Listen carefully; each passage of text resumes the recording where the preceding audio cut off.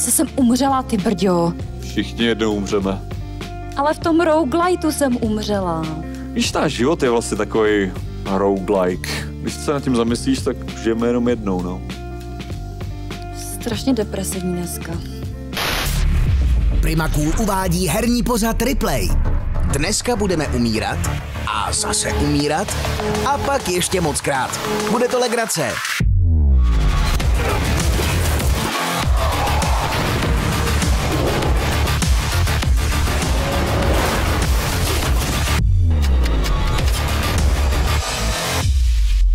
Zdravíme vás hráči a hráčky u dalšího dílu Replay. Dneska se podíváme na Darebákův odkaz, na řeku kořisti a zároveň zdroj šílenství. Co to meleš, prosím tě? Čeština je pěkný jazyk. No, to je asi z překladu, veď. Já bych možná některé věci úplně nepřekládala.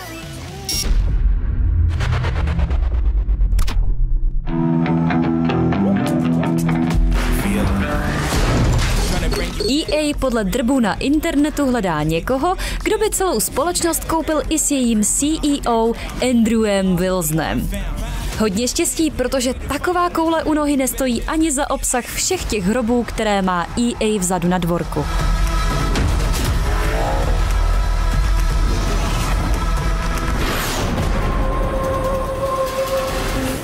Konečně objevilo Ameriku a ve velkém rozjíždí plány na porty svých exkluzivních titulů na počítače. Velkou měrou se o to zasloužila PC verze Horizon Zero Dawn se svými skoro dvěma a půl miliony prodaných kopií. To už si umí spočítat i Japonci. Podle náznaků na Steamu se navíc brzo dočkáme i oznámení portu rogueliteu Returnal. A kterou exkluzivku Sony byste chtěli jako další vy?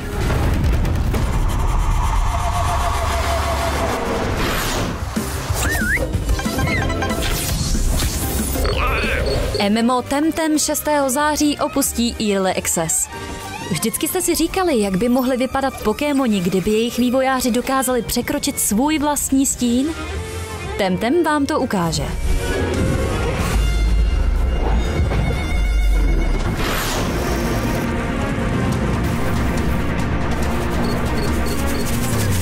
Sega doufá ve vysoká hodnocení chystaného Sonic Frontiers. Takže si to schrňme. Hra vychází na obě generace konzolí i Nintendo Switch. Má výjít ještě letos a nedělají fanoušci. Jo, to určitě dopadne skvěle.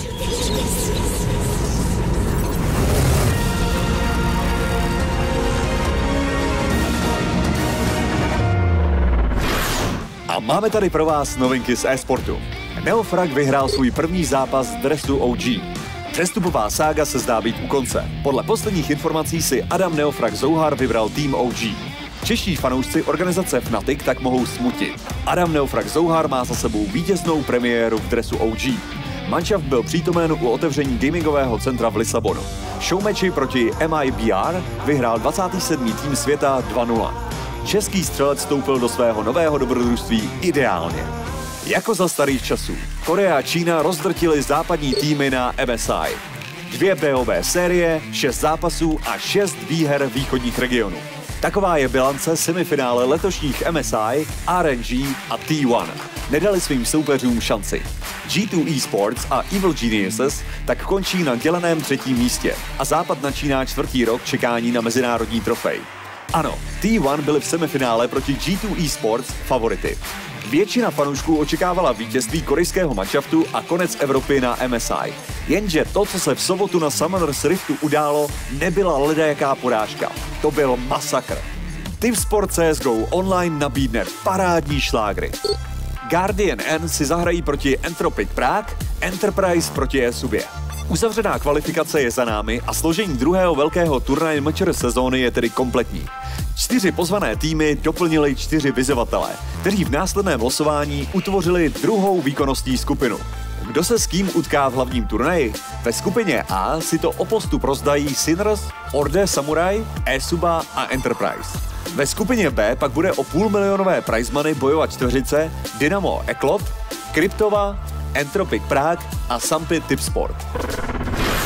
Martine, u čeho ty tak jako vlastně třeba pořádně šílíš, rejčuješ, stekáš se?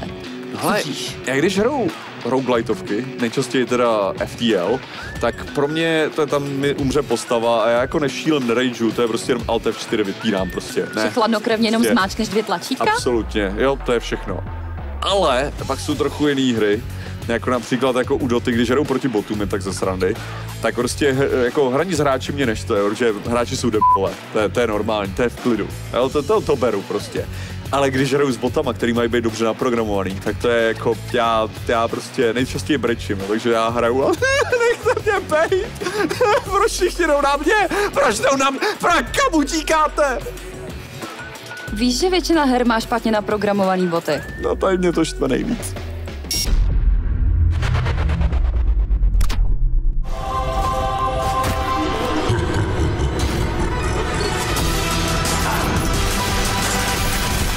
Náš rod je rodem hrdinů.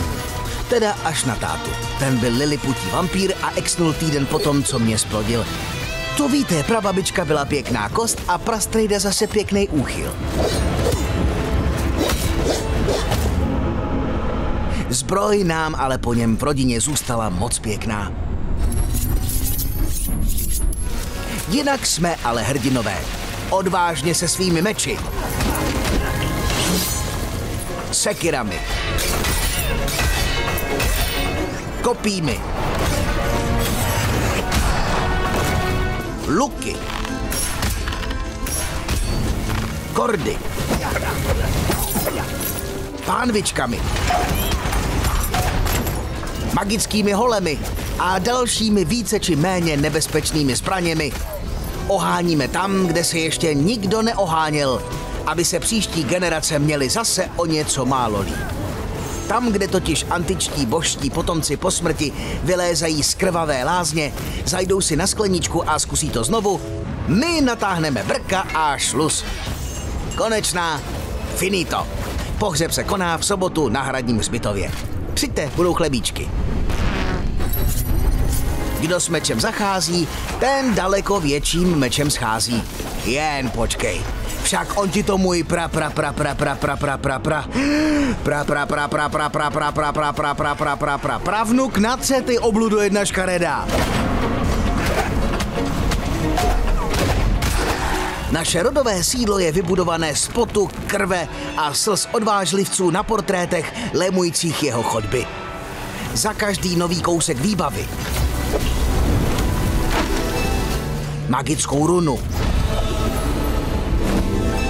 Nebo unikátní artefakt. Položil někdo z nich život. My jsme ovšem hrdinové a tak to zkoušíme zas a znova. Každá další generace se dostane o malý kousek dál. Teda pokud zrovna nevyšle do světa pacifistu a nebo ještě hůř, vegana. Jinak ale jednoho dne začneme překonávat smrtící překážky s jednou rukou svázanou za zády a barvoslepostí k tomu. To víte, my jsme těch šťabajzen měli v rodokmenu víc. Nakonec padne i ten boss a za ním bude čekat další lokace s dalším bosem a pak další a ještě tři k tomu. A pak znova jen těžší a těžší a těžší. Jestli existuje posmrtný život a já v něm narazím na toho d***a, co tenhle kontrakt podepsal, tak ho zabiju. Kde jen byla ta kniha z pravidly našeho rodu? Je na čase škrtnout zákaz létání. Uhuhuhu, to čumím, sakra. Naši předkové z prvního Rogue Legacy subžánr roguelite her v podstatě vybudovali. My jim teď vzdáváme hold a posouváme jejich dílo zase o malý kousek dál, protože takový už je zkrátka úděl hrdinů. Máme tu Loot River, což je docela zajímavá hra. Viděl jsi ji?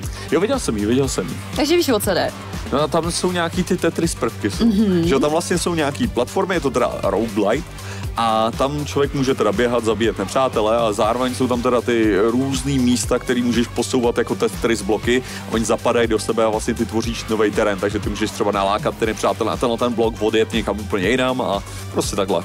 Jo, je to prostě zmatený, rychlý a slovenský.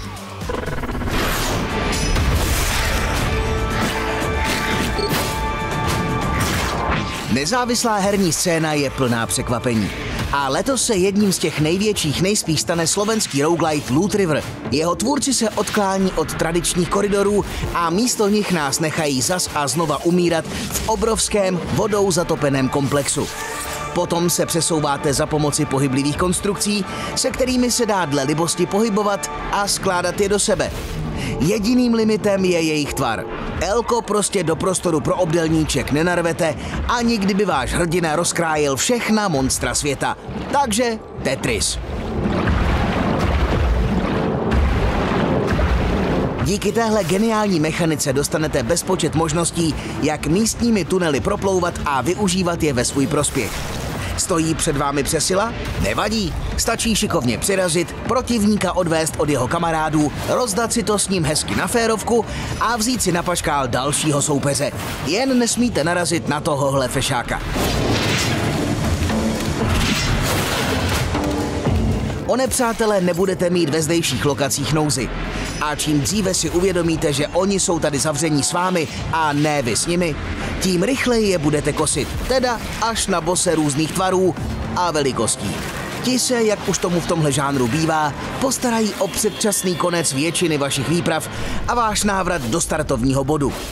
Tam začíná každá z cest bez ohledu na to, zda padnete na dřevěné pramici, městských kvádrech nebo uprostřed královských chodeb. Právě tady si pak skrze získané vědomosti zpřístupňujete nové zbraně, kouzla a určujete některé parametry dalšího průchodu. Jasně, vývoj je neskutečně pomalý a slabší povahy tak může odradit od dalších dobrodružství. My ale máme výzvy rádi.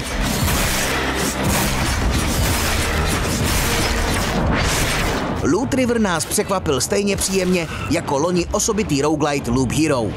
Je to výborná hra, která bere zavedené žánrové prvky a obohacuje je o mechaniku posuvných kvádrů.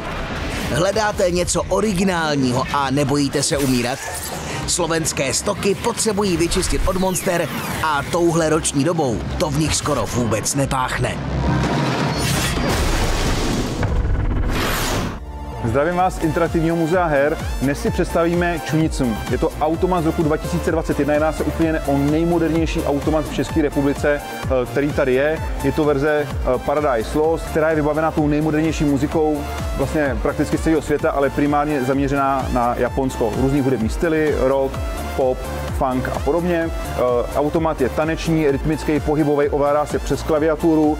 Automat má i vlastně výši vašich paží a sílu úhozu každý té eh, ruky. Za správný úhozy do rytmu hudby získáváte bonusy. Eh, čím víc správných úhozů máte, tím máte vyšší skóre, tím se hudba eh, zrychluje, tím máte i obtížnější úroveň a propousáváte se takhle dál na další a další skladby. What's going on here?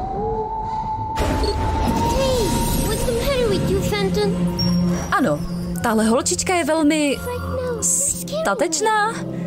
Normální člověk by po setkání s oživlým plišovým medvídkem vzal nohy na ramena. Jenže ona ne. Ona se za ním musí vydat a skončit v tomhle domě hruzy inspirovanými autory, jako je Tim Burton, Jules Verne a Conan Doyle. She will need all her courage and the help of Fenton to reach the heart of the menacing manor. Ne, mrtvou nevěstu tady nečekejte. Jste tu jen vy děvčátko Emma, mazel Fenton a pár příšer, které ještě nevečeřely. To kdyby vám místní interiéry náhodou už tak nepřišly dostatečně děsivé sami o sobě. Klauni. Nesnáším klauny. Zatímco příběh se neřadí na seznam našich nejoblíbenějších povídek, i když jeho rozuzlení je vpravdě velice zajímavé. Fenton, are you okay? S hratelností je to přesně naopak. Tandon a Tale of Shadows je totiž nápaditá logická plošinovka, ve které kombinujete hraní mezi dvěma postavami s cílem rozlousknout místní prostorové hádanky a že ty vážně dokážou potrápit mozkové závěty. Každá z postav má přitom svůj vlastní způsob, jak se s nimi poradit. Emma se pohybuje po zemi a svojí lucernou, případně prostřednictvím lamp, vytváří stíny pro Fentona, který se díky nim zase může přesouvat po stěnách. Pokud by je neměl, skončil by nabodnutý na trnech. Asi takhle nějak. Někdy musíte navíc všechno správně načasovat a to vám pak začne být toho plišáka vážně líto. Tandem A Tale of Shadows je nádherně zpracovaná záležitost, která potěší všechny fanoušky logických her. A protože před nějakou dobou dostala na PlayStationu aktualizaci s českými titulky, lepší příležitost dát u ní zabrat své šedé kůře mozkové už opravdu mít nebudete. Dneska už tady několikrát zaznělo slovní spojení roguelite a roguelike. No a diváky by určitě zajímal ten rozdíl mezi tím, ne? Diváci to ví, tebe to zajímá. Ale je to úplně jednoduché. Máš roguelike, což znamená jako rogue, což je hra z roku 1980, kde si chodila právě dungeonem, který byl náhodě generovaný a když si umřela, tak si musela od znova. No a teďka oni na jedné krásné konferenci udělali 8 kritérií, které musí hra splňovat proto, aby byla správný roguelike. Což ovšem znamenalo i problém, protože hodně her, které jsme do té doby nazývali roguelike, nesplňovaly ty kritéria. No a proto právě vzniklo to light, protože tam není těch osm prvků, ale je tam třeba jenom pár z nich. Přesně jako máš třeba mobil nějaký light, anebo nějakou konzoli, která je light, která vlastně má nějaký ty hodně důležitý funkce, ale mnoho méně důležitých, nebo některé prostě jsou vyhozené. Jo, takže jako hamburger bez masa, to je takový hamburger light. A moderátor bez charisma, hm, arcade bulls light.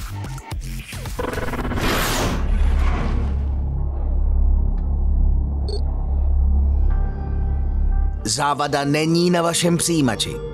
Nesnažte se srovnat obraz. Vysílání teď řídíme my. Fanoušci Lovecrafta, hledající ve středozemi zdroj šílenství. A díky novému přírůstku do žánru roguelite plošinovek na to máme víc milášků, než se Gloomovi kdy snilo. Na začátku jsou desítky, možná stovky ztracených duší a cíl dobít tajemnou citadelu kdesi v Lowlands a všude mezi tím jsou pomníky neúspěchu, zmaru a beznaděje. Source of Madness zaujme nejenom depresivní hororovou atmosférou, ale také procedurálně generovaným světem, originálním designem a učenlivou umělou inteligencí.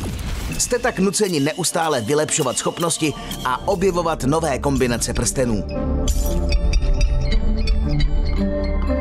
A bylo by to na Full House nebýt fluidního pohybu nepřátel. Ten sice přináší netradiční souboje, ale také celou řadu chyb, kdy se pod obry zasekáváte nebo vás jejich pohyby naženou do slepé uličky a tím i do náruče smrti. Prosili bychom opravit, ať ta depka není zase tak velká.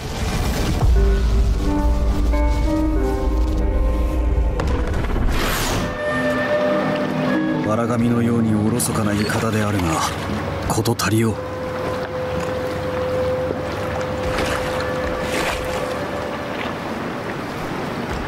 Na severu mají pro mrtvé Valhalu, na jihu hádem ovládané podsvětí a na východě zemi zvanou Iami.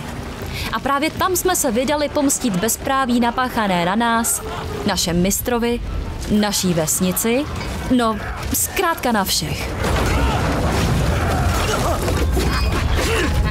Trek to Yami je audiovizuální podsta dílu legendárního režiséra Akira Kurosavy.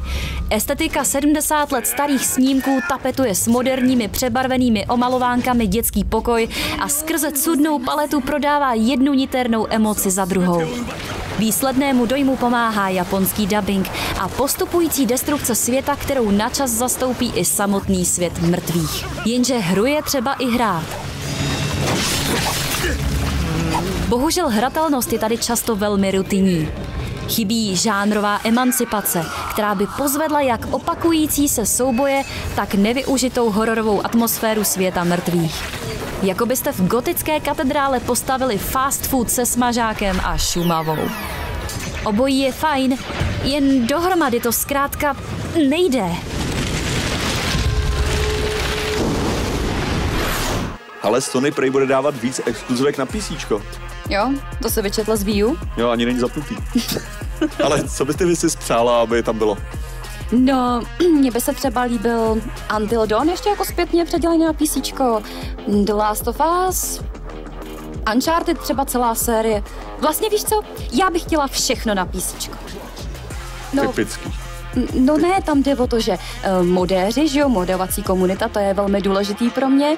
A pak taky si můžeš pohrát s tou grafikou a vytáhnout z těch her jako úplně to, rozumíš, tak jako podcukrovat to a, a, a udělat to šťavnatější a, a, a prostě O, já bych to tam dala všecko. Jí tam bude běhat na hej Nathan Drake.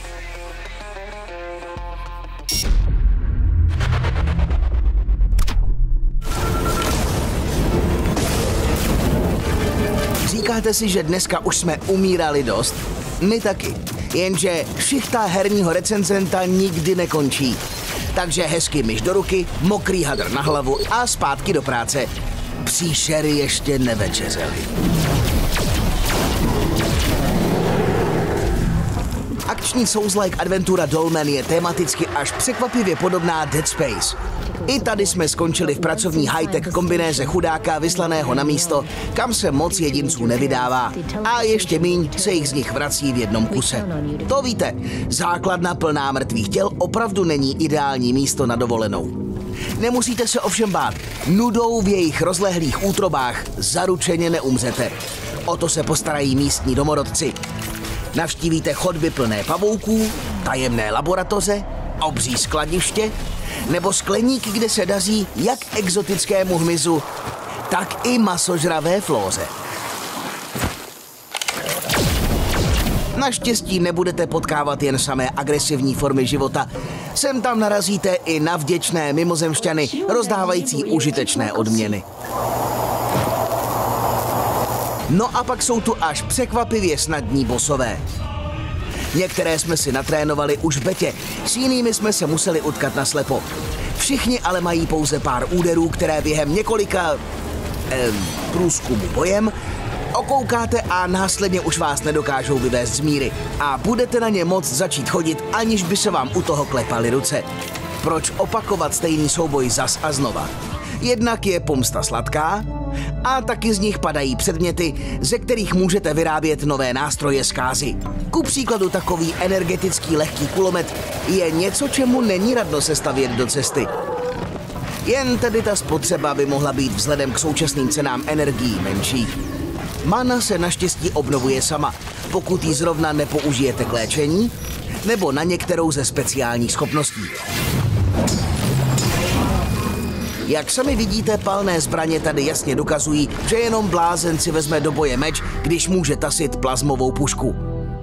Stačí si udržovat dostatečnou vzdálenost a hlavně nenarážet zády do zdí. Jasně, vedle zbrojnice plné pušek, brokovnic a pistolí máte na výběr i ze slušné nabídky mečů, trápů, seker a řady dalších zbraní na blízko. Kdo by se s nimi ale oháněl, když se nedá úplně spolehnout na kameru? Minimálně za nás proto padla volba vždy na tyhle nepřátele hezky z dálky likvidující zlatíčka. Dolmen představuje povedenou kombinaci Dark Souls a Dead Space. Z první série si bere mírně problematickou kameru a vysokou obtížnost spolu s na záda vám neustále dýchající smrtí. Zatímco z druhé převzala hutnou hororovou atmosféru, perfektní palné zbraně a příběhovou tématiku zaměřenou na hrádky s věcmi za hranicí naší reality. Má sice svoje mouchy, rozhodně ovšem nejde jen o další lacinou kopírku slavných značek. A to je v dnešní době třeba ocenit.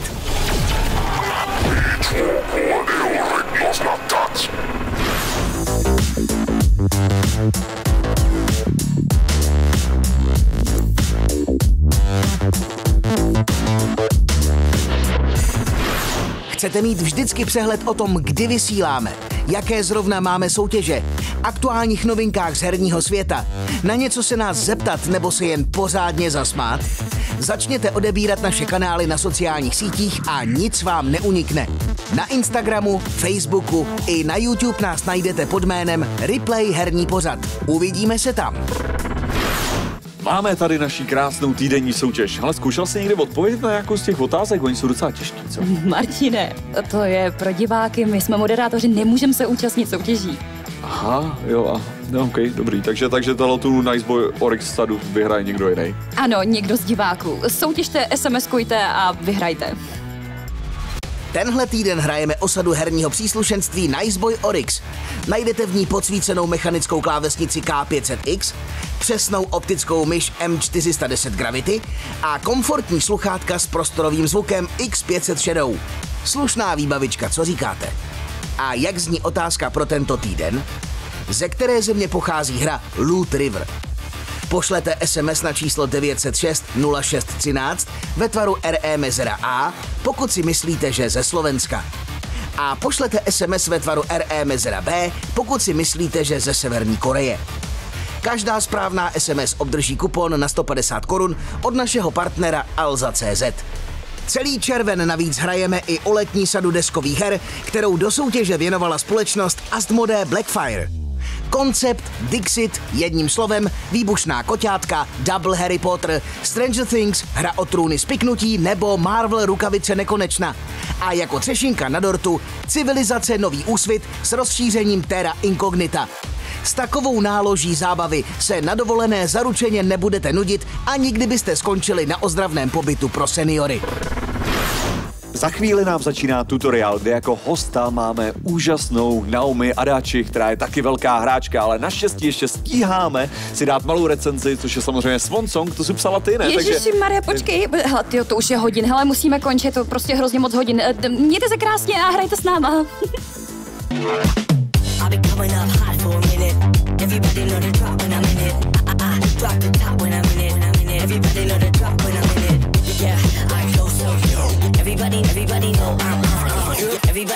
Everybody, know I'm on. You, you know when they click, click through to the shit, then it's supposed to be a see, see, run, run, run, run, run, run, run.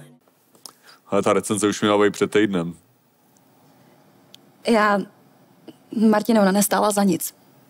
No tak s tím se počítá, proto ti dali, ne? Jako jo, ale to bylo fakt strašně špatný. Chápeš, takže se to odložilo. Ah. Rozumíš?